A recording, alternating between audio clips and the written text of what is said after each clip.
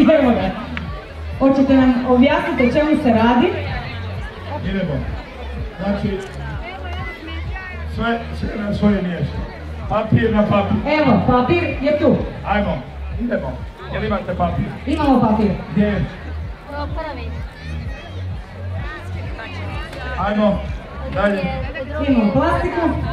Ajmo, plastika. Plastika Tu, ajmo dalje. To je to za demonstraciju više nego dovoljno.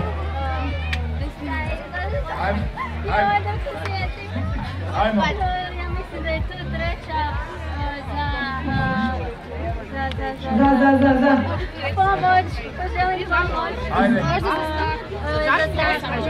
Bio otpad. To je, to je za. Da. Da, ovdje je staklo, ovdje je staklo.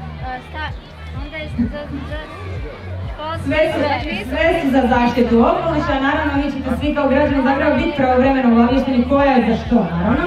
treća, ja mislim za limenke. Ajde, baci, ko ima limen? Nema niko. Ajmo, a ko ima za bio?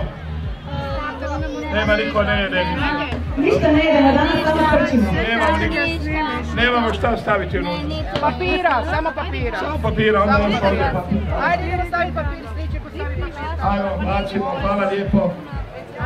To nije papir, gospođo, to je papir. Ovo je na, papir. sva- na svim kartama treba uredno pisati, treba uredno pisati, bit će sve u redu. Evo ga. Hvala lijepo. Možemo ići dalje.